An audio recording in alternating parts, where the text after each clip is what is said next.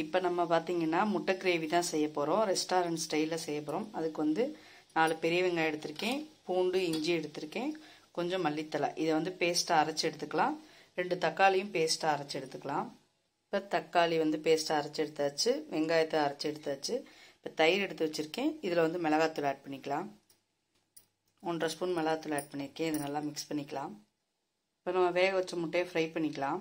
கொஞ்சம் மஞ்சத்தூள் கொஞ்சம் பெப்பர் கொஞ்சம் மிளகாத்தூள் கொஞ்சம் சால்ட்டு நல்லா மிக்ஸ் பண்ணிக்கலாம். ஃப்ரை பண்ணிக்கலாம். முட்டையை இந்த மாதிரி ஃப்ரை பண்ணி எடுத்துட்டால் சாப்பிட்றதுக்கு நல்லா சூப்பராக இருக்கும். அதே எண்ணெயில் இப்போ பட்டைக்கிராம்பு ஏலக்காய் எல்லாம் போட்டுக்கலாம். மிளகு சீரகம்லாம். நல்லா பொரியட்டும். அரைச்சி வச்சுருக்க பேஸ்ட்டை ஆட் பண்ணிக்கலாம். நல்லா மிக்ஸ் பண்ணிக்கலாம்.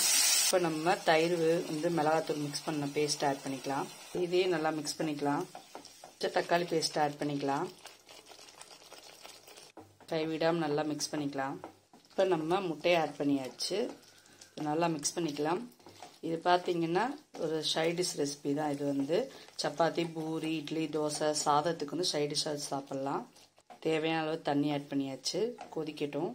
தேவையான அளவு உப்பு ஆட் பண்ணிக்கலாம்.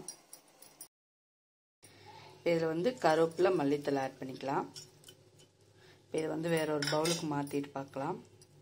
லைட்டாக சுகர் ஆட் பண்ணிக்கோங்க. சூப்பராக சூப்பரான எக் கிரேவி ரெடி ஆயிடுச்சு ரெஸ்டாரண்ட் ஸ்டைலில் உங்களுக்கு இந்த ரெசிபி பிடிச்சிருந்துச்சுன்னா செஞ்சு பார்த்துட்டு கமெண்ட்ஸில் சொல்லுங்கள் லைக் பண்ணுங்கள் ஷேர் பண்ணுங்கள் சப்ஸ்கிரைப் பண்ண மறந்துடாதீங்க.